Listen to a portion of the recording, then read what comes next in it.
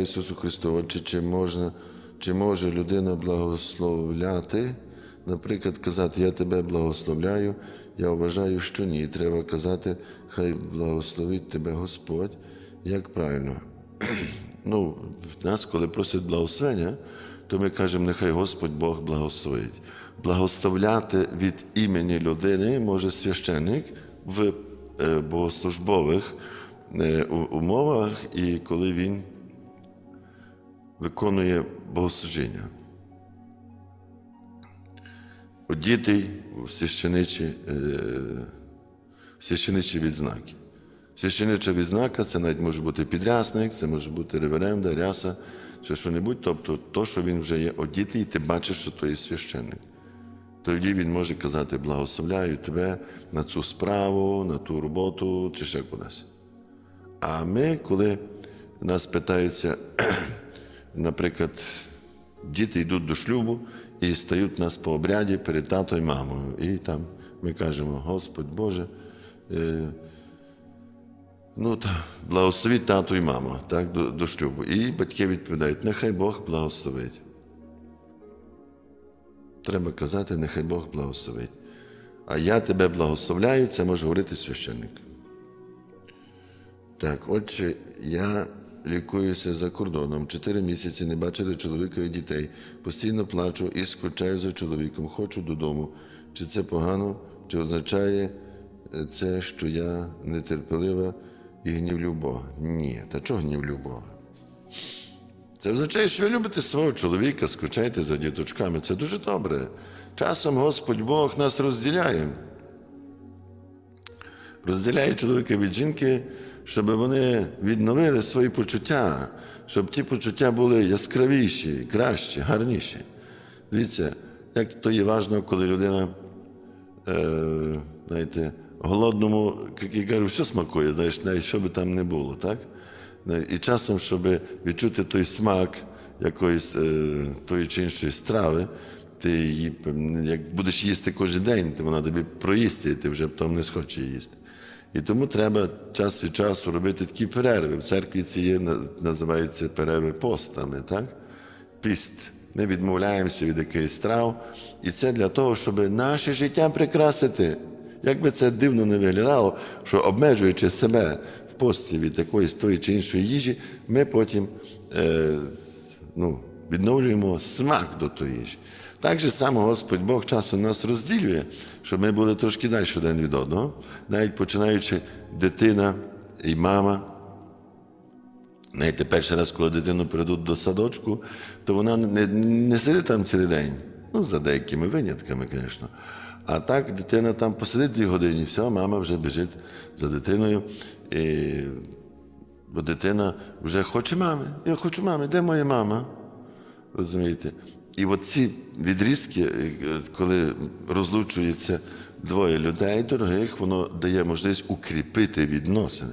Тому ваша, оце те, що ви скучаєте дуже за чоловіком, це ознака того, що ви його любите, він для вас є дуже цінний, і взагалі ви хочете додому. Так що е, сприймайте це як дуже добре. Нічого це не є гріхом, це дуже добре. Це ознака того, наскільки ваші відносини є, є добрими.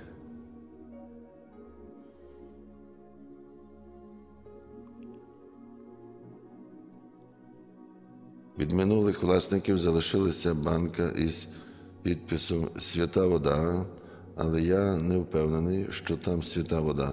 Що зробити з цим? Винести під дерево, яке приносить е, плодоносне дерево, наприклад, черешня, яблука, сливка, і туди вилити воду під корінь прямо. Просто так де-небудь не виливати. Під плодоносне дерево. Піти і вилити ту водичку. Баночку вимити, набрати чистої свяченої води. Ось, е, так, о, слава Ісусу Христу. Висилайте щорівню на потреби воїнів ДЗСУ. Дякую, пане Ігор, дай вам Боже здоров'я. Е, щиро вдячний всім жертводавцям. Е, Напишіть номер картки, скинути гроші. Щиро дякую вам. Я вам дякую. Саме головне, щоб розумієте, ми, як люди, ми привикли, що за все треба гроші дати, за все заплатити. В якійсь мірі воно так і є. Але, знаєте, я хочу вас навчити, щоб все одно на першому місці якось була людина, так? Відносини з людиною. Це дуже важливо є. А потім вже другий етап, третій, четвертий чи десятий. Можете віддячити. І ще вас хочу одну штуку навчити. Коли хочете комусь щось подякувати, не робіть це відразу. Бо воно виглядає як на базарі. Купив, продав. Робіть це під настрій. Даруйте подарки не по календарях, а по настрою.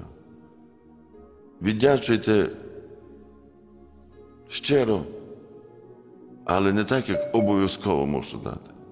От захотів і дав. Щоб ми вчилися бути більш Божими, як денежними. Гроші річ, яку придумали люди, так, вона мусить бути. Але ця річ є дуже спокуслива, бо диявол іменно через ці речі приходить до людини. І тому треба бути дуже бережними з тими всіма коштами, направленнями. Людина, якщо не має імунітету до грошей, вона може так нагрішити. Вона може скільки доль суддів загубити, що най Бог борони. Тому до грошей, до грошей треба ставитися з розумінням. Розуміти, що ви є головніші, а не гроші. Але я все рівно дякую вам за пожертву, дай вам Боже здоров'я. Ваша підтримка є дуже значуща. Дуже значуща. І коли нам треба закрити якесь питання, я не бігаю там збирати гроші. Я знаю, що я беру ці гроші з церкви, ті, що ви даєте мені на підтримку каналу. Я не біжу нікого, не, не питаю, я маю це готові, що ви завжди підтримуєте. Я вам дуже, дуже дякую. Дай вам Боже здоров'я всім, всім жертводавцям.